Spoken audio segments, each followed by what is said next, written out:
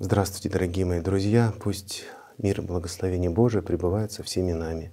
Радости, праведности и мира о Духе Святом, доброго всем дня и хорошего настроения. Сегодня память священномученика Сергия Увицкого, одного из удивительных святых, которые совершали свое служение в Успенском приходе города Екатеринбурга, что на Визе. Не так давно у нас случилась встреча с новыми прихожанами. Есть такая приходская традиция, когда человек э, начинает приходить в храм и понимает, что храм ему близок, интересен, община как-то по душе, то в церковной лавочке есть возможность заполнить анкетку с тем, чтобы когда э, новых э, прихожан станет, ну, там порядка 10-20 человек, с ними можно будет встретиться. Встретиться для знакомства.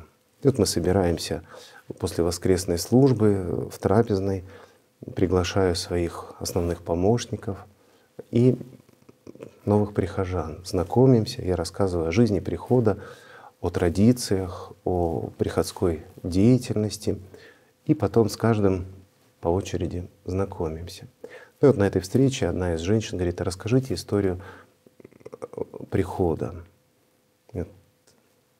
Поскольку мы в этих датах находимся, 17 марта 1838 года архиепископом Аркадием был освящен Успенский собор. То есть очередная годовщина приближается. И э, собор был очень крепкой общиной, было несколько а, соборных помещений. Ну, сейчас они церкви уже не принадлежат, но они существуют. Хорошая, крепкая школа.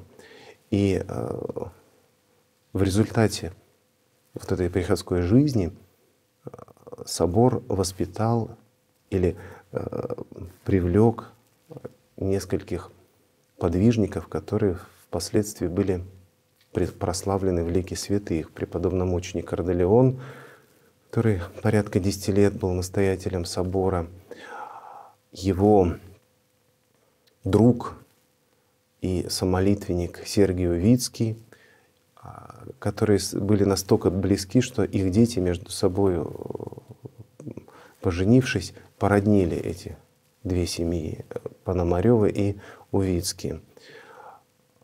Преподобный исповедник Ян Кевролетин также служил в приходе. И отец а, священномученика Константина Богоявленского, диакон Стефан, тоже был в клире нашего прихода. И, а, конечно, маленький Константин и а, молился, и алтарничал, помогал, но до того момента, пока он не уехал в Пермскую духовную семинарию. Вот четыре святых, и один из которых э, Сергей Вицкий, память мы сегодня совершаем. Одной из первых икон новописанных в нашем соборе была как раз икона э, священномученика Сергия Увицкого.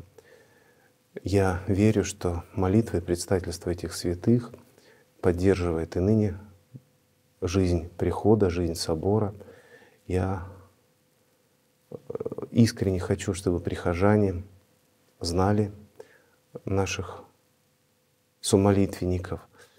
Поэтому э, мы написали иконы каждого из святых. Ежедневно, многократно мы обращаемся к ним с молитвами.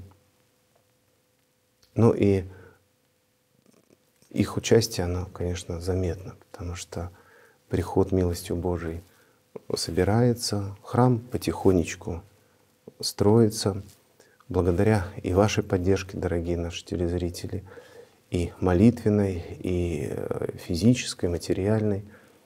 Ну и, конечно, очень хочется, чтобы каждый приход, он рождал из э, себя людей, христиан, которые готовы быть верными Богу до конца.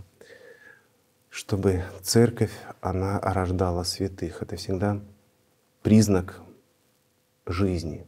Пока в Царство Небесное приходят святые от земной церкви, есть смысл в существовании этого мира. Как только этот ручеек прекратится, когда люди перестанут искать Царствие Божие, правды Его, а их интересы будут исключительно в мирском царстве, то смысл существования этого мира, он исчезнет.